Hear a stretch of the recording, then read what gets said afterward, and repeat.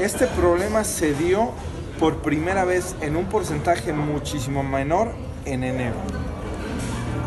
Nos quejamos y nos lo volvieron a bajar, inclusive nos aportaron en los siguientes subsecuentes este, recibos de luz. eh, fue menor y con, con una ayuda, por una ayuda, o sea, nos regresaron algo de dinero.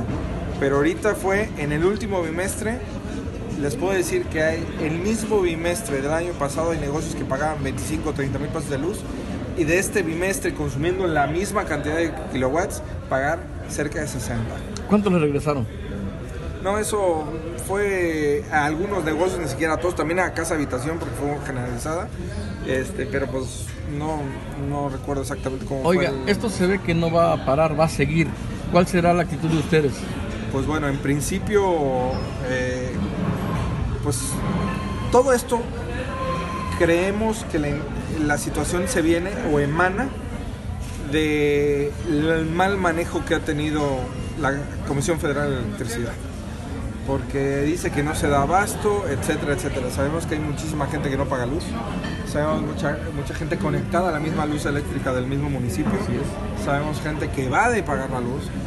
Y pues por qué a los, al comercio organizado es al que se le sale a afectar. Sabiendo que nosotros somos los que generamos el empleo y sabemos que si nos afectan a nosotros puede haber cierres, puede Sí, porque es una paradoja, ¿no? En el mercado puede ver uno los